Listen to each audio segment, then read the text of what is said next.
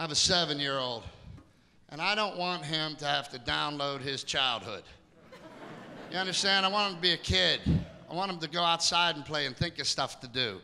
And it's hard as a parent, man. You gotta let him play some video games, right?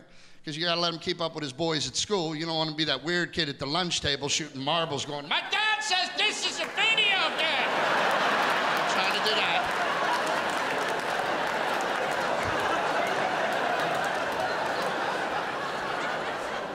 There's got to be a happy middle ground. I don't want to be one of them video vegetables. You know what I mean? Go outside and play. That's it. You know, use your imagination. We didn't have a Nano or a PlayStation or an iPod or a PSP or a... I had a stick. and on a good day, a roll of caps and a fucking rock. That was it. That was it.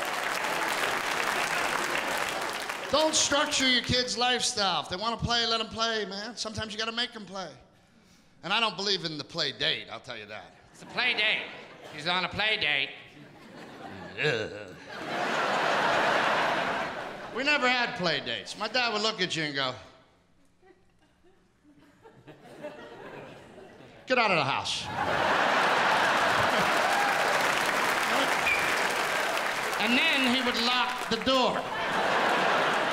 Couldn't get back in even if you wanted to. I'm thirsty. Use the hose. Taking a nap. I'll see you in a couple hours. And you left for eight hours. Nobody knew where you were. There was no supervision, right? Right? Just wandering around with a book of matches looking for shit to burn. Lock me out of the house. I'll get your attention, old man, if that's what you're looking for. Course, that was back in the good old days, right? When you could send your kid outside to play. It's a little tougher now. I'm so old, I remember when the woods wasn't a dangerous place. Right? It's not like that no more. They do get some advantages, kids today, though, right? They get to do whatever they want. My son is the prince, man. All he has to do is ask. Mommy, can we please go to the sure, honey? Let's get in a truck and make a memory. My dad's answer for everywhere you ever wanted to go was, they're closed.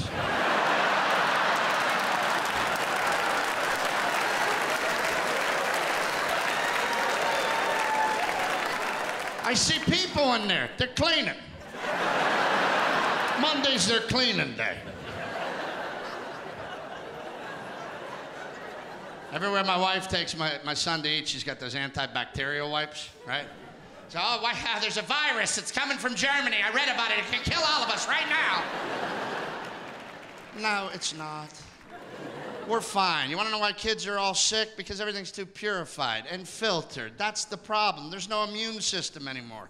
You could be at a ball game with my dad, drop a sandwich in the dirt, he'd go, What are you doing? Pick it up. First two bites are crunchy, you're good the rest of the way. Let's go.